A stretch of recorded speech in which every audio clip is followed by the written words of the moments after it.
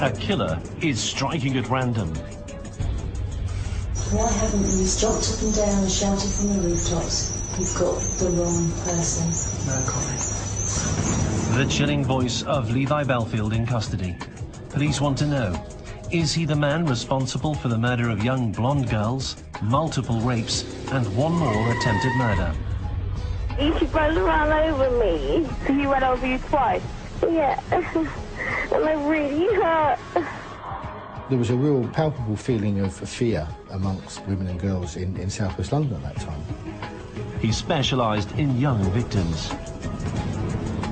He was simply killing blonde young women for pleasure. His actions brought one of the world's mightiest news organisations to its knees with the murder.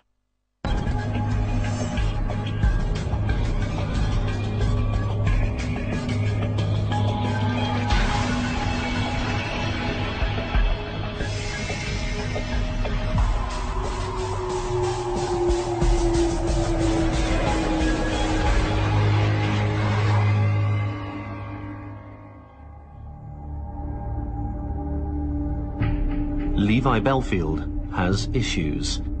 His father dies when he's a child. Levi grows very close to his mother. His mother is a very important, this matriarchal figure in his life. Levi is tiny, at 16, still shorter than 5 feet tall. His physique makes him feel unattractive to girls at a West London comprehensive school, and he's profoundly miserable. He didn't want to be small. He wanted it to be... He was the vamp of the family, I think. Bellfield was a woman hater. He was bullied at school um, quite, quite acutely by a number of girls, and he, uh, perhaps that was the, uh, you know, one of the causes of his loathing for women. By his late teens, Levi Bellfield decides to change things. And in his later years, he took steroids, and in fact, the first time I ever saw him, his, uh, his arm muscles, his leg muscles were absolutely huge, and his neck was, was, was bulked up beyond all belief. He wanted to be the man, the, he didn't want to be the little boy anymore. Some find his new look attractive. Bellfield was to marry four times, have 11 children. One woman in his life was to experience both profound menace and how much fun he could be. He was the life and soul of the parties. He was the top dog. He was the one that everyone wanted to be with, everyone wanted to be seen around. He was like the, the don of like the area. Pete Rodriguez was to become a pivotal figure in Bellfield's life, as a friend and a colleague. I haven't got no brothers or sisters or anything like that. Uh, maybe it's, it's unconsciously knowing I've got a bigger sort of brother, in a sense, looking out for you, you know, because that's the impression he give you. He'll be looking out for you. But Rodriguez would soon carry the scars, emotionally and physically, of having Levi Bellfield as an older brother figure. There are deeply unsettling sides to Levi, which occasionally appear. After a couple of drinks, he'll get aggressive. You start off enjoyable, then end up being a nightmare. He either goes to try and beat up somebody. Bellfield takes that aggression home. His first wife leaves him after one particularly savage beating, and his next partner quickly sees the steroid-induced muscle man's violent side. I'd bite you, burn you, kick you, punch you. Remember he split the back of my head open once because he was fixing, doing something to the car and I didn't answer him quickly enough and he had a tool in his hand and he just turned around and as I walked away he hit me straight in the back of the head and split all my head open down there. That was one of the times. Particularly unsettling for Jo is her husband's irrational hatred of blonde women. When you find a magazine and all only the blondes' faces are slashed and you know he's got he goes mad and when I confronted him about it I mean he I really got a good hiding that day and he like he, he told me straight I hate blondes they're all fucking slags and they should die and I don't know if it's because his mum's got jet black hair and she is the matriarch of the family and she rules with an iron rod or somewhere along the line blondes really hurt him or something like that He just loathed women. For some reason, he loathed women who are blonde. And on top of that, he seemed to loathe women who were young. Bellfield's loathing of young girls doesn't stop him wanting to have sex with them. An ambition he can pursue in a job he gets at a nightclub. He became a bouncer, I think, because it was a regular supply of eager young schoolgirls who would line up outside the clubs he was the bouncer at. he seemed to take it as a badge of honour that he was targeting girls who were legally beneath the age of consent. Bellfield would never stand trial for some of the offences he was alleged to have committed against young girls. He would leave no DNA trace as he forced himself on some of the girls that he comes across. He was someone who kept a mattress in the back of one of his vans whereby he would sometimes ply girls with ketamine, a very powerful tranquilizing drug, or, or, or sometimes cocaine. He would sell them, and it, sometimes in exchange for, for sexual favors, or sometimes, even more menacingly, he would actually abuse them after they were high on drugs. Between 1995 and 2001, a string of complaints are made to police by young girls but their memories are almost always hazy. Drugs taken unwittingly mean that his victim's evidence is unreliable. Nothing is ever pinned on Bellfield. With other even more serious crimes to put before a jury, the sex offences were to remain on the files without further action. I sent a report to the Crown Prosecution Service uh, asking for directions on a series of five uh, drug-induced rapes on teenage girls between the ages of 14 and, and 17. Uh, the evidence wasn't there at that time.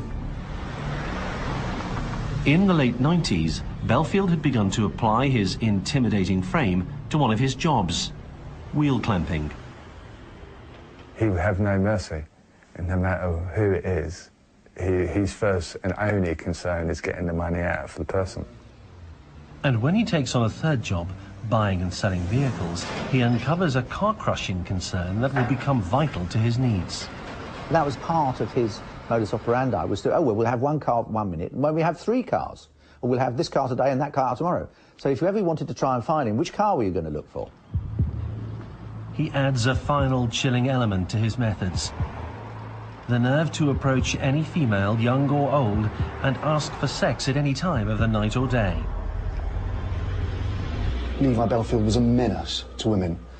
As they drove around in a, a, a white van, he would lean out the window, shout, leer at other women. He would um, wolf whistle, and he would be generally quite unpleasant. Bellfield rents a flat in the Walton-on-Thames area of southwest London. Soon after, a 13-year-old schoolgirl, Millie Dowler, goes missing. she fitted his obsession. Millie Dowler went to school but decided to take the train home.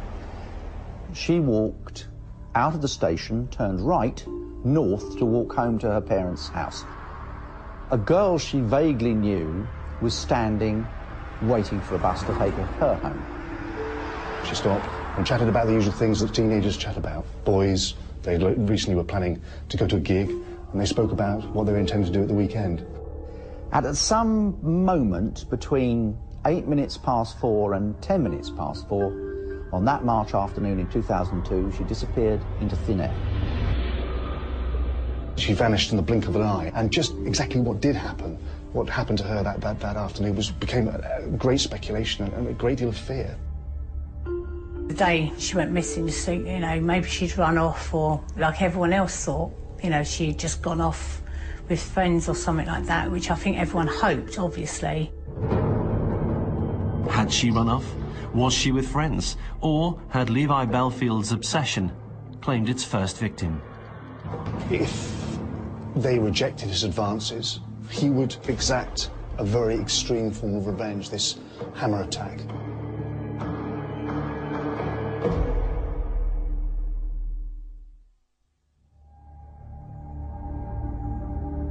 Police are searching for Millie Dowler. By 1997, Levi Bellfield's second wife, Jo Collings, had taken enough of his beatings. She had left him. He soon moves on to wife number three, Emma Mills.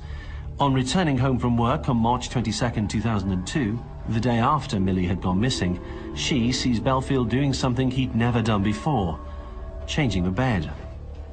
All the bedclothes have been removed. The sheets, the duvet cover, everything. And she says to Levi, what, what's going on here? He said, oh, well, the dog had an accident on the bed. Which he thought was rather strange because the dog was extremely well house trained. But what he was really doing was he was disposing of the mattress that was at the property. Six months after she went missing, late in 2002, the body of Millie Dowler is found 30 miles from the train station where she was last seen. She'd been dumped in woods. Police don't suspect Bellfield. The difficulty the police have, or had, was that Millie Dowler, there was absolutely no forensic evidence whatever. There were no, there was no soft tissue remaining on her body. It was simply bones. Um, no one had seen anything. Not a single witness had seen her go. Bellfield was very forensically aware. He knew that if he turned off his mobile phone, they couldn't trace him using triangulation of his mobile phone signal.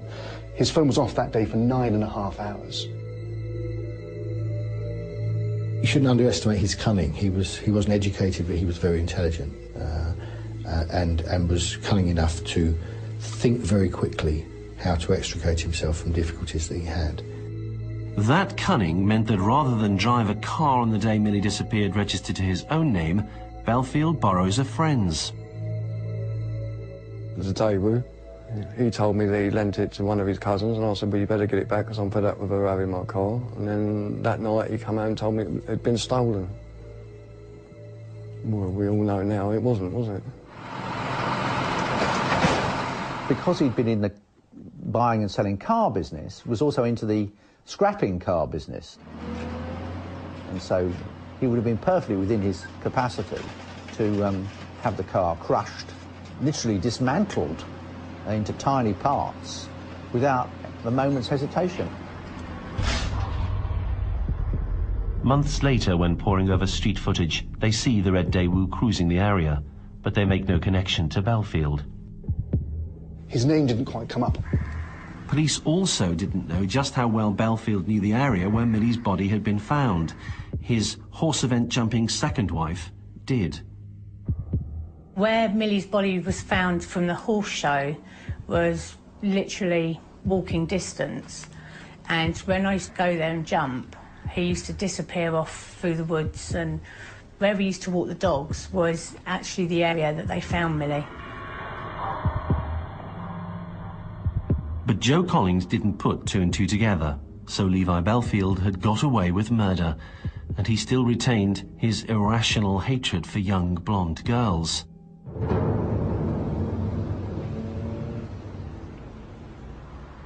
February 2003, and a girl is on the way to her home in southwest London. She's blonde.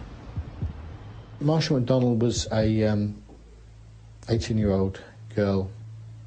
She went with her friends to see a film in Kingston, got the bus home. Marsha could have known nothing of the danger she was in as she neared home. She went out to the cinema with two friends, caught the bus home, got her home just after midnight, about 17, 18 minutes past midnight. She got off the bus and almost made it home. And she was literally you know, 10 doors down from where she lived when she was attacked. He was driving along around bus stops where people would get off. So he would perhaps be able to see them when they're on the bus, spy somebody who's on their own, and then when they got off, drive alongside them for a bit before getting out and attacking them. And she was killed about 40 yards from the front door. She was, was hit over the head with something heavy. She died in hospital within hours of the attack. Whoever had killed Marsha had made a rapid getaway in a car, which seems simply to have disappeared from the streets. Levi Bellfield, once again, has covered his tracks. And he's about to cover his tracks again. This time after a violent incident when he asks his friend and colleague Pete Rodriguez to share a flat and its costs with Levi. He says to me, uh, oh Pete, come back, I've got some DVDs I want to show you. And I'm going, okay, uh, fair enough. So I've gone gone back to the flat and stuff. Um, next thing I know, six weeks later, I wake up. Obviously, we had an argument in the flat and stuff. I've gone downstairs, he's followed me, hit me over the head with a mallet, and uh, he left me for dead. Within seconds, literally, of it happening, Levi is on the phone with a stage whisper saying other people have committed the crime. Now, we, do, we, we think it was him. Uh, there wasn't enough to charge him with it. As he lies in bed recovering, the confused Rodriguez does not know what has happened. He suddenly gets a visitor, Levi Bellfield. He said to the hospital staff, oh, I'm, I'm Peter's brother, I'm going to see him. And he made up a fuss and a commotion and all this and this of it. Yeah, so much so the actual hospital security escorted him out of the hospital. Bellfield's visit to his former friend coincides with an attempt by someone to end Rodriguez's life. He's tried to, trying to come back to turn off the machines, basically, for me. And then, like I said, that moment onwards, I had the 24-hour police protection. Police take no further action, not for the first time. They lack evidence. They didn't take my, what I said to them seriously enough. If they had arrested Bellfield for the attack on Pete, police may have picked up on the possibility that he was responsible for the disappearance of Millie Dowler. But at this stage of the investigation, in 2003, the only thing the murders of Millie Dowler and Marsha McDonnell have in common is the youthfulness of the victims and the fact that they were close to bus stops when last seen. There's no linking DNA, no witnesses, no apparent motive. Police face a tough task. A blitz killer who kills at random is very difficult to track down.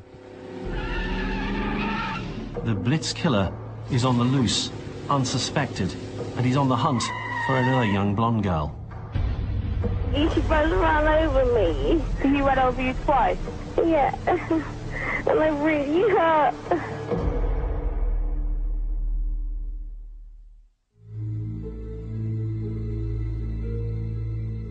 In 2004, friends of Levi Bellfield noticed some odd behavior. He's begun to have a series of panic attacks. On holiday with close friend Richard Hughes, a poster for a murdered Spanish girl causes a strange reaction. Oh, the waitress at the table was said, a 14-year-old girl was murdered yesterday on the beach. And he got up out of that table and left the restaurant, gone. When we got back, he was in the hotel. I said, well, what was all that about? He said, oh, I was just having an attack. He said, it must be the heat. In hospital, still recovering from the vicious attack he'd suffered, Pete Rodriguez hears of an horrific attempt on the life of a young blonde girl. A man had randomly driven his car at her. Well, he ran her over and we reversed back over her and punctured her lung. And lucky enough, she survived. Kate Sheedy, again, who had been on a bus late at night, she'd just left school, that very day, in fact, uh, was going home to her parents' house. As she walked up the road, she was aware that there was a, a vehicle parked on her side of the road. It was a people carrier. It was white. It had uh, blacked out windows. And the engine was running, but the lights were off. And she it was a sixth sense, really. She, she, she wasn't sure why she was frightened of this vehicle, but she knew she was. This time it was a Toyota people carrier that was caught on CCTV cameras at the local pub. He simply turned the car rapidly in a U-turn, drove over her,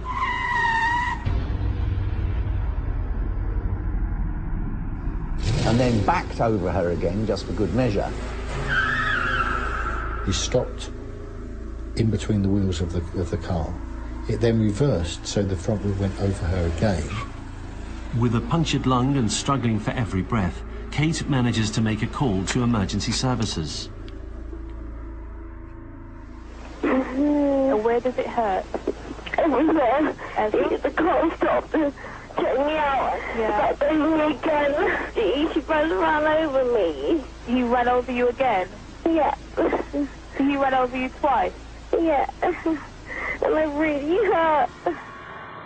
It's the most moving piece of tape you could want to listen to. She had every rib broken, she had her spleen ruptured, she had damage to her spine, she had you know, horrific injuries, but was very, very tough, very spirited, and, and, and, and got through it all.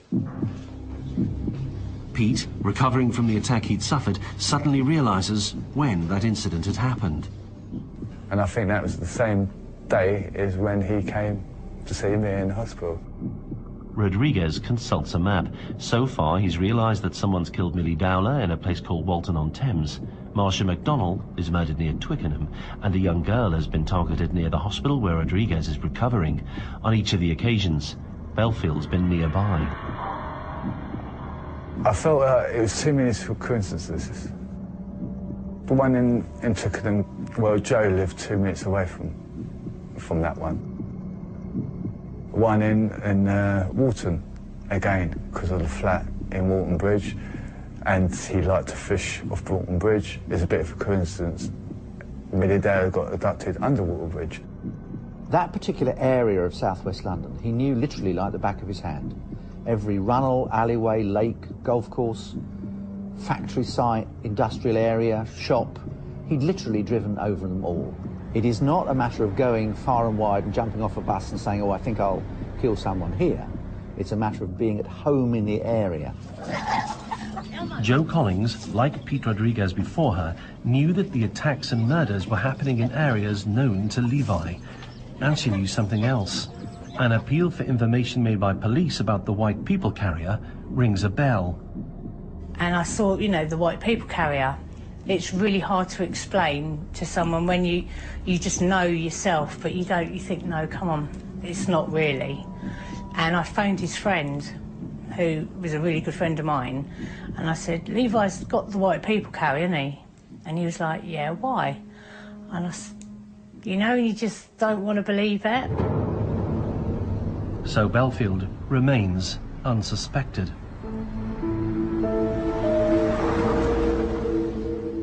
A French student is out on the town. She'll soon need a bus ride home. She'd been with some friends at a wine bar in Twickenham. She'd had three or four glasses of wine. Decided to go home about half past nine. Got the bus, and she somehow managed to miss her stop. She asked the bus driver, you know, when's the next bus back? And he said, across the road, it'll be 10 minutes. And it was a fine evening in August, and faithfully, she decided she was going to walk.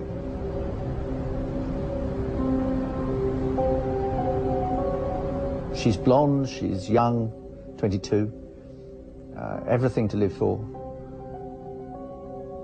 And as she walks up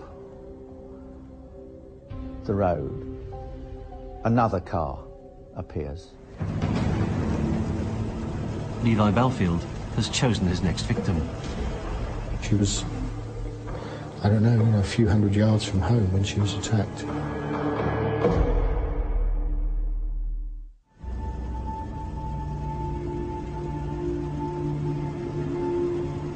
Levi Bellfield is cruising the streets of London.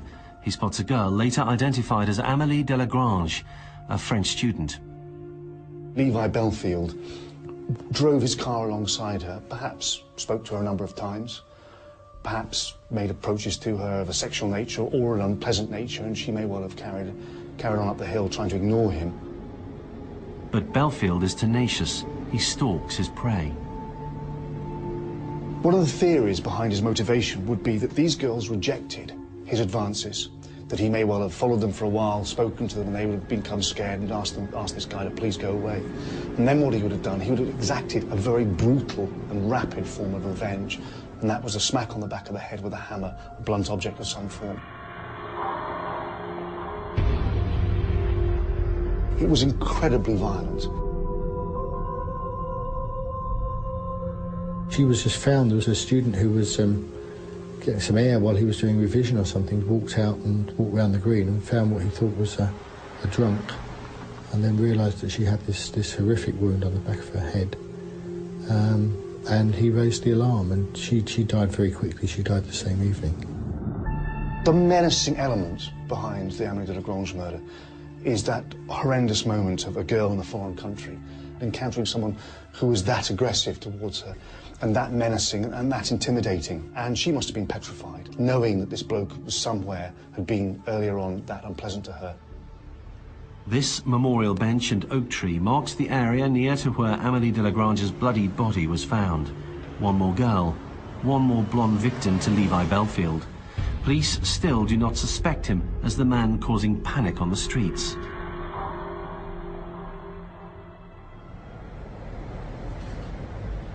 There was a real palpable feeling of, of fear amongst particularly the, the women and girls in, in southwest London at that time because there's a maniac on the loose. He was simply killing blonde young women for pleasure.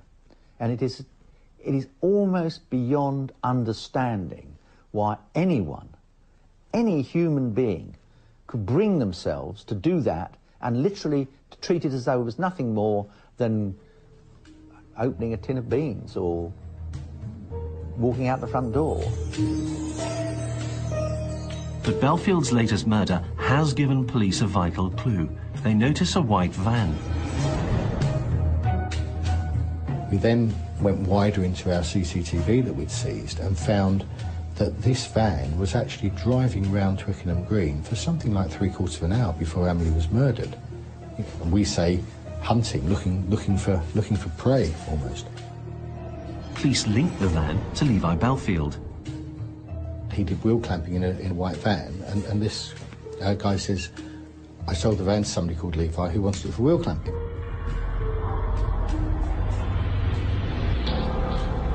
Out of the blue, Bellfield visits his second wife and reveals a tortured state of mind. He said, I've done something. He said, and what I've done if you won't forgive me, only God can forgive me. And I was like, yeah, you know, thinking John McQueen. And he's like, no, seriously. He said, you, you won't, um, you won't believe it when you find out. But Bellfield doesn't reveal precisely what she might find out. You sort of start thinking, it's all a little bit, it's bits just get, you know, you start putting things into perspective and things like that. And then that's when I went to the police went down to Twickenham Green and to the crime unit. And I said to them, you know, about Levi, and they just took all the details and what have you, and like, yeah, we'll get back to you, thank you for that. What makes you think it was him? And I said, you know, it was his, just his pure hatred of blondes and the fact that everyone who'd been killed or missing or attacked were all blonde.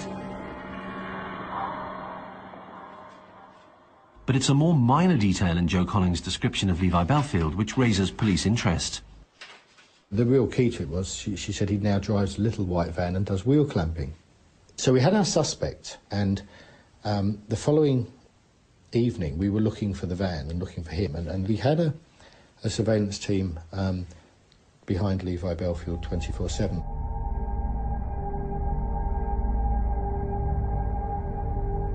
It is three years since the disappearance of Millie Dowler. Since then, there have been multiple unsolved rape cases in the same area, two murders and an attempted killing. Police are watching a man now known to the media as the bus stop stalker when he seems set to attack again. One Sunday, Levi is out in a, another of his vehicles. There are two girls standing at a, standing at a bus stop waiting for a bus, and Levi pulls over and gets out and uh, goes up and speaks to them. It turned out these two girls were cousins, and uh, Levi had asked them how old they were, and they said 14 and 15, and he'd said, "Oh, I bet, oh, I bet you're virgins. I bet you're, you're nice and nice and fresh, or something like this." Levi Bellfield is still on the loose, looking for new prey. Little does he realise that the police are now watching his every move the speed with which we thought these attacks took place, it was there was a risk that we would have another murder with, with nine police officers watching it and in fact videoing it but unable to intervene because of the speed it happened.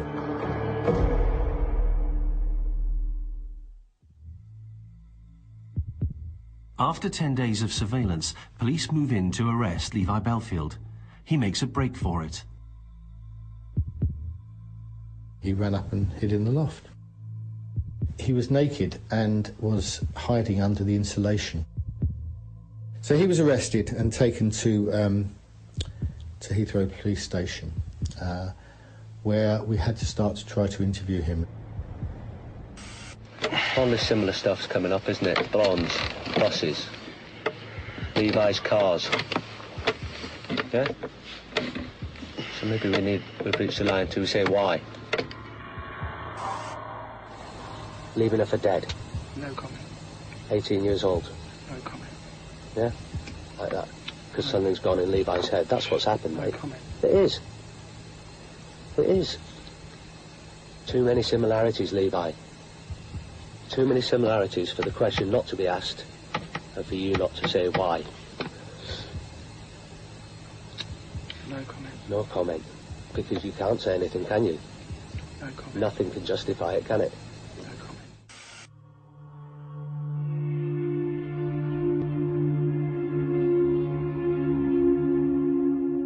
Bellfield is eventually charged with the murders of Amélie Delagrange, Marsha McDonnell, and the attempted murder of Kate Sheedy. He is found guilty and sentenced to life in prison.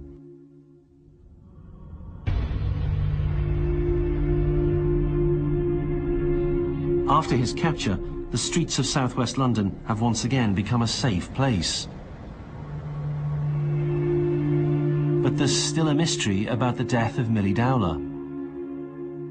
Two years into Bellfield's prison sentence, and the investigating officer is reviewing Milly's case.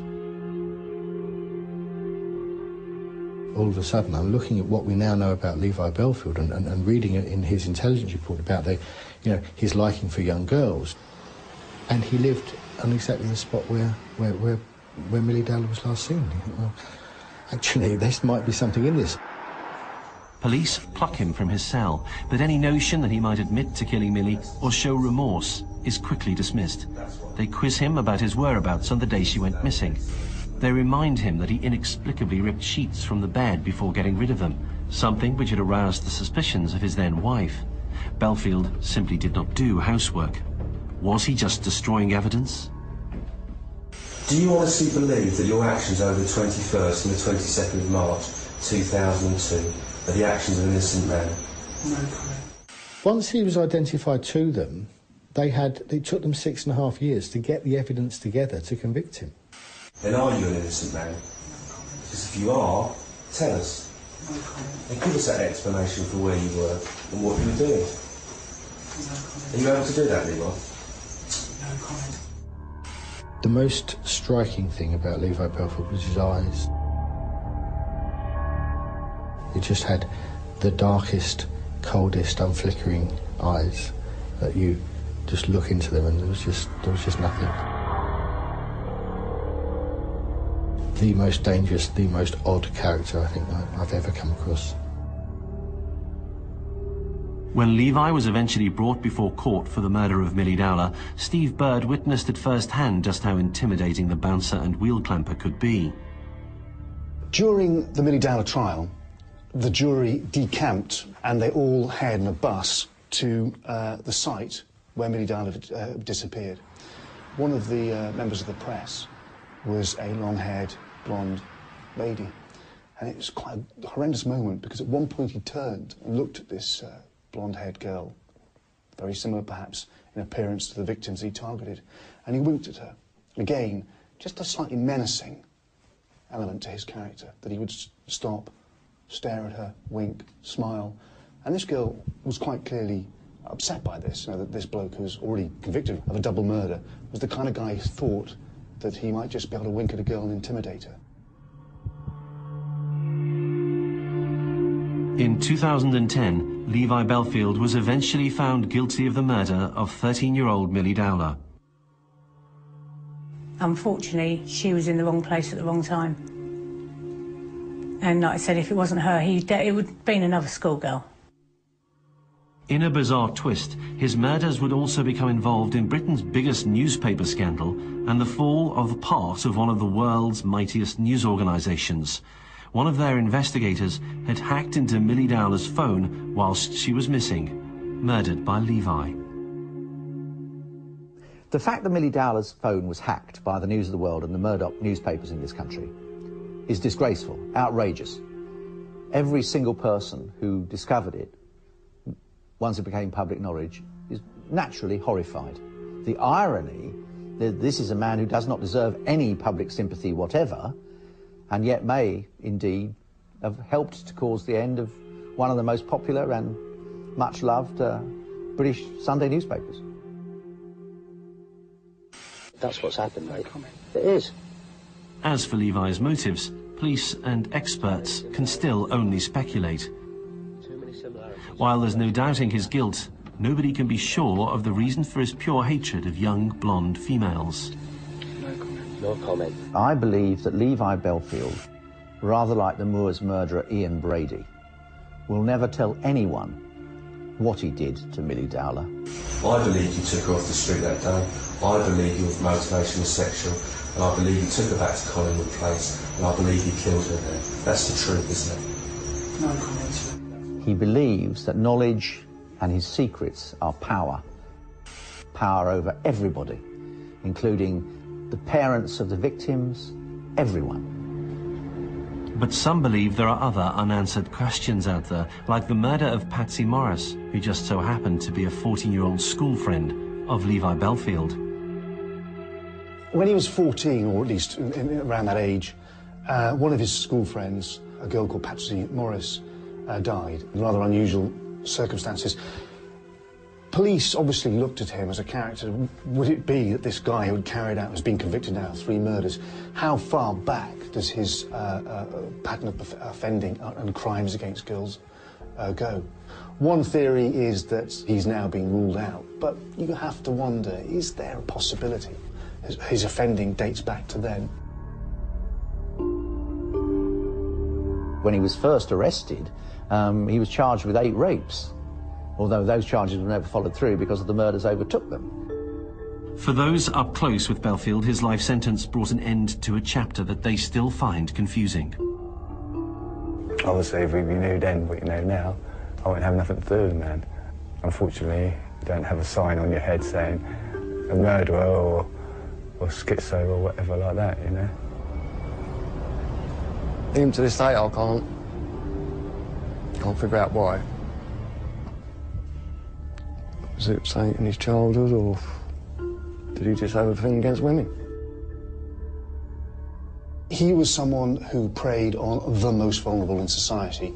Firstly, women. Secondly, girls. I mean, these were, these were girls who should have been safe as they walked home from school, should have been safe as they walked home with a short distance from a bus stop. He, he was violent, uh, predatory, and somebody for whom we don't quite understand the motivation. Unfortunately, I dealt with, you know, the, the, the dregs of humanity for, for 30 years. Uh, no one's like Levi. Nobody had the disregard for authority, for other people, for just humanity.